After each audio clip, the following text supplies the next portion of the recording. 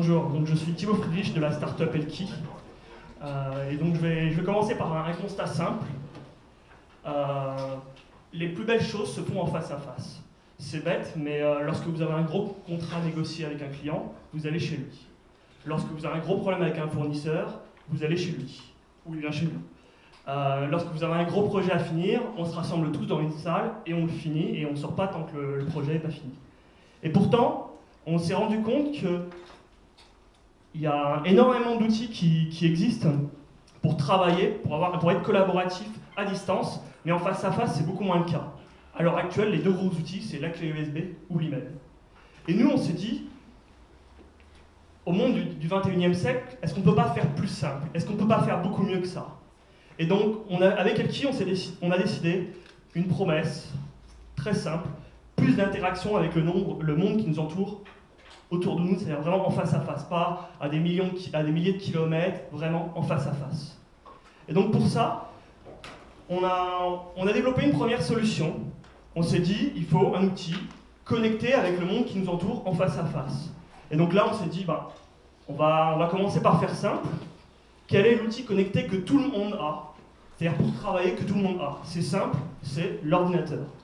Donc ça paraît bête comme ça, l'ordinateur, oui, il a accès à Internet. Mais en fin de compte, si on utilise l'ordinateur pour vraiment interagir juste en face de soi, on se rend compte qu'on a énormément de possibilités. Donc avec l'application Elki, il suffit de l'installer sur votre ordinateur et votre ordinateur se transforme en sa propre plateforme collaborative locale. Et donc, une fois que vous avez installé l'ordina- euh, Elki sur votre ordinateur, eh ben, votre ordinateur émet son propre réseau Wi-Fi. Les personnes qui sont en face de vous n'ont plus qu'à se connecter à ce réseau Elki sans rien besoin d'avoir installé. Donc déjà, c'est très simple. C'est-à-dire dans le domaine professionnel, c'est très intéressant si le- les autres n'ont rien besoin d'installer. Ensuite, il y a une bonne partie qui est la sécurité. C'est-à-dire qu'une fois que vous êtes, tout le monde est sur ce réseau, vous pouvez échanger des documents. Vous savez que les documents, ils sont chez vous, chez la personne en face de vous, et c'est tout. Et ça, dans le domaine de l'entreprise et plutôt des grands comptes, c'est vraiment très important. Ils sont sûrs que les documents sont vraiment que sur ces deux ordinateurs. Et enfin, la mobilité. Avec Elki, vous vous abstrayez de toute autre contrainte. C'est-à-dire que vous n'avez pas besoin d'Internet. Vous n'avez pas besoin d'avoir accès au réseau du client. Vous n'avez pas besoin d'autre chose. Vous avez juste besoin de votre ordinateur et que le client a un ordinateur, une tablette ou un smartphone. Et donc, Elki, c'est une première solution qui est disponible sur notre site elki.fr et qui in- intéresse euh, un grand nombre des grands comptes justement pour ces différents aspects, la mobilité, la sécurité et, euh, et la simplicité. Et donc, si vous voulez, après, vous pourrez voir, on va faire des démonstrations de comment fonctionne notre application. euh, et vous pourrez juger par vous-même de ces, de ces différents avantages. Merci. Est-ce qu'il y, a- y quelque chose de similaire ou comparable avec des choses comme FireChat qui permettent de justement recréer des réseaux euh, Alors, je ne connais pas FireChat. Euh, par contre, vraiment, ce qu'on a voulu au cœur d'Elki, c'est la simplicité. Parce que par exemple, il existe plein d'outils euh, qui existent, même euh, Shareit, et- ben, il y en a vraiment des, plein d'outils pour faire ça. Vraiment, notre cœur de métier, c'est la simplicité. Pour le moment, on fait juste le transfert de documents, mais on essaie de bien le faire. C'est-à-dire vraiment, en un clic, la personne, elle n'a vraiment pas besoin de s'y connaître en informatique. Alors, je ne connais pas FireChat, comment ça fonctionne, mais, euh, mais là, c'est vraiment, euh, pas besoin d'être sur aucun réseau Wi-Fi existant, c'est vraiment euh, c'est- Mais c'est axé sur le transfert de documents et on est en train d'intégrer des nouvelles fonctionnalités le partage d'imprimante, des choses comme ça, mais vraiment sur un réseau professionnel dédié, euh, dédié à un travail local.